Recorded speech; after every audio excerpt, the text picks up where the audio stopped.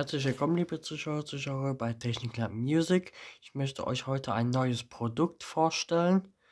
Das Produkt ist ungefähr wie das vorige Produkt, was ich euch im letzten Video gezeigt habe. Das, was der liebe Speaker Shocker auch hat. Das ist dieses hier. Das ist ein Bluetooth-Transmitter.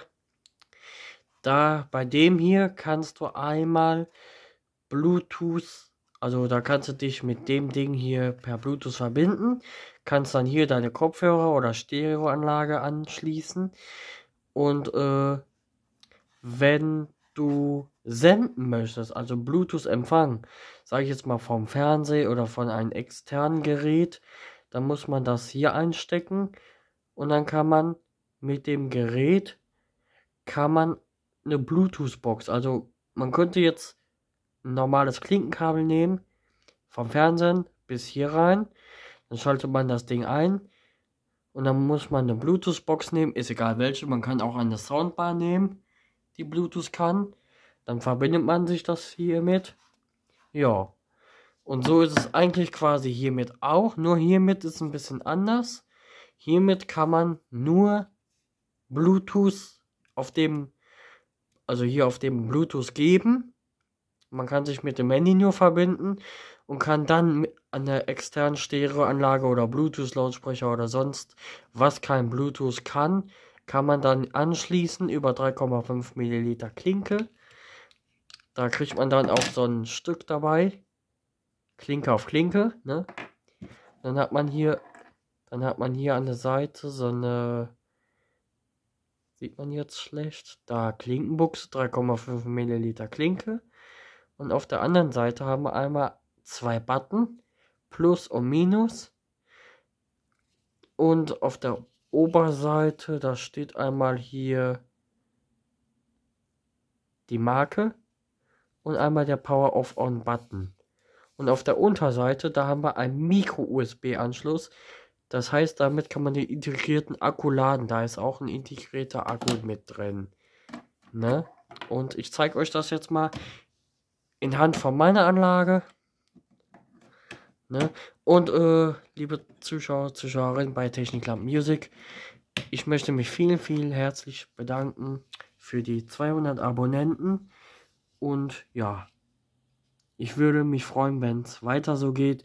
Ein richtiges Abo-Special kommt auf jeden Fall noch. Das ist jetzt erstmal so ein kleiner Zwischenteil.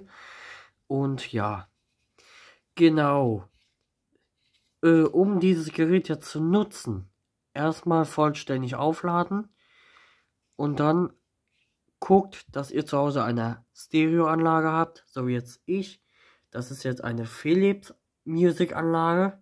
Da ist nur CD, Radio, USB drin und AUX. Ihr müsst darauf achten, dass das einen AUX-Eingang hat. Sonst müsst ihr gucken, dass ihr einen, wenn ihr so eine Bausteinanlage habt, dass ihr so Tape, also wo ihr die, den Kassettenrekorder anschließt oder den CD-Rekorder, dass ihr dann über wieder ein über ein anderes Kabel, das ist dann einmal 3,5 Milliliter Buchse auf zwei Zinch Buchsen. Dann könntet ihr das mit eurer Bausteinanlage auch verbinden. Das Kabel musste ich mir aber selber holen. Oder das hatte ich mal noch irgendwo liegen. Deswegen. Oder ihr könnt auch dann hier sowas nehmen. 3,5 Milliliter Klinke auf 2 3,5 Milliliter Buchsen. Äh, das ihr euch aber nicht viel helfen. Deswegen kauft am besten dann hier wirklich sowas. Klinkenbuchse auf 10 Buchsen. Dann könntet ihr das direkt verbinden. Ne? Ich zeige euch das jetzt mal in Hand an meiner Anlage. Und ja, schalten wir erstmal die Einlage ein. Vorher könnt ihr das ruhig reinstecken. Da steht jetzt Disk. Ihr könnt natürlich auswählen, wo ihr das natürlich haben wollt. So, schön reinstecken in dem AUX-Eingang. Da muss ein AUX-Eingang vorhanden sein. So, da steht jetzt No Disk. Und dann geht ihr über den Menü-Button. Ist bei jeder Anlage anders aber dann geht ihr über den Menü-Button, geht ihr auf, sag ich mal, AUX-In oder so wie bei mir Audio-In. Dann sollte die passende Quelle ausgewählt sein und drückt lange den Power, die Power-Taste, wenn das Gerät vollgeladen ist, dann solltet ihr einen Sound hören. Macht mal die Anlage ein bisschen lauter, so, dann könnte man das besser hören. 3, 2, 1, lange drücken.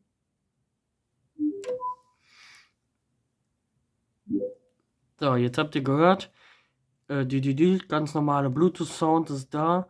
Dann wisst ihr, dass ihr die richtige Quelle genommen habt und er hat sich jetzt direkt mit meinem Handy verbunden. Ja, das Knacken ist jetzt normal. Ich weiß jetzt nicht warum. Muss ich mal schauen. Noch, ne? Und dann haben wir hier an den Seiten noch zwei Taster für Plus und Minus. Damit kann man nicht nur die Lautstärke steuern, sondern auch mit kurzen Tippbefehl, also Kurztippbefehl, kann man die Lieder vor und zurück schalten und lange Tippbefehle, also so lange drücken. Damit kann man die Lautstärke dann extern noch regeln. Also man könnte hier an dem Ausgang sogar noch alte Bluetooth, äh, alte Kopfhörer anschließen, die kein Bluetooth können. Das sind normale Schnurkopfhörer.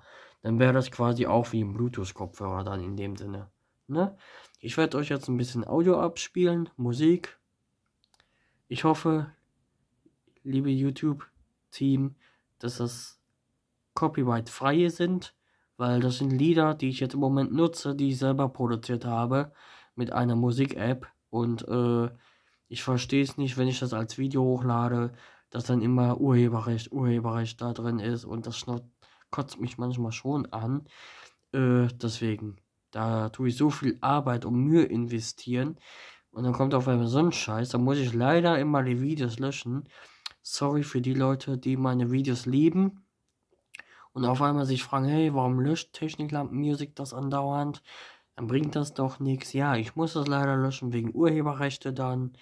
Und äh, ja, jetzt starten wir mal die Musik. Äh, hiermit kann man auch dann anrufen.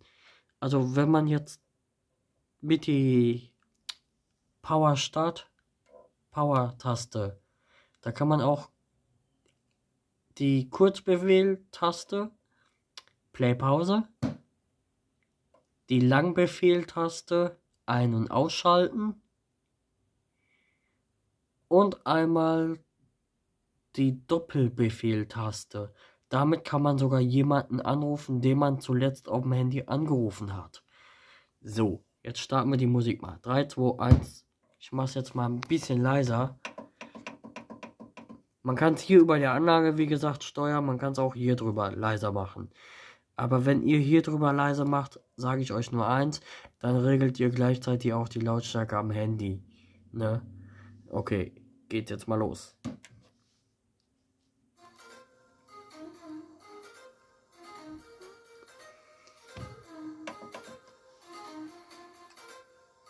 So könnt ihr eine alte Bluetooth-Musikanlage äh, Bluetooth-fähig machen. Dann kann man hier, wenn ihr nächstes Lied wollt, und das sollte mit dem Steuerkreuz nicht funktionieren, können wir ja mal machen. Funktioniert nicht.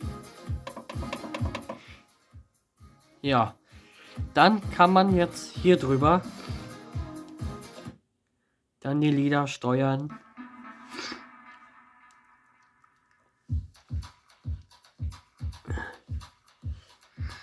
Wie gesagt, Kurzdrückbefehle vor und zurück und lange drücken laut leise.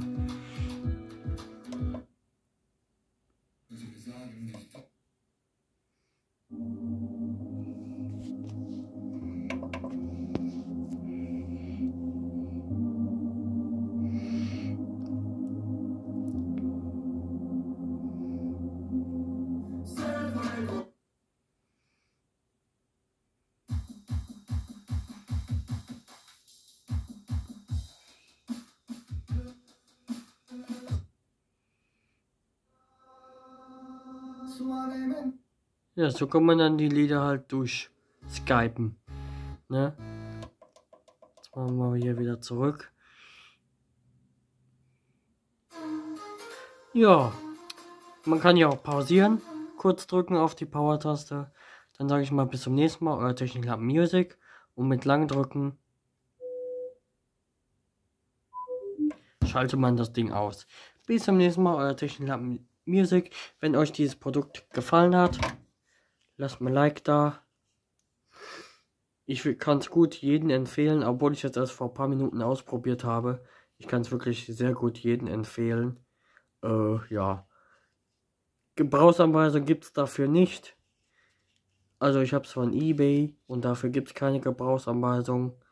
Und aber das Ding ist eigentlich relativ selbsterklärend.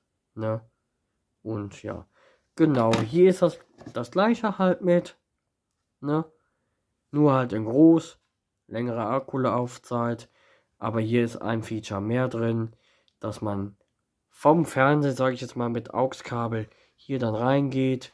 Und dann kann man dieses Bluetooth-Signal also dieses, dieses Fernsehsignal auf Bluetooth-Signal umwandeln und dann kann man das über eine Box oder Soundbar oder sonstiges laufen lassen. Ne? Bis zum nächsten Mal. Ciao. Und wenn ihr Kommentar, also wenn ihr Fragen habt zu diesem Produkt oder generell Fragen habt, einfach mal in die Kommentare schreiben. Ciao.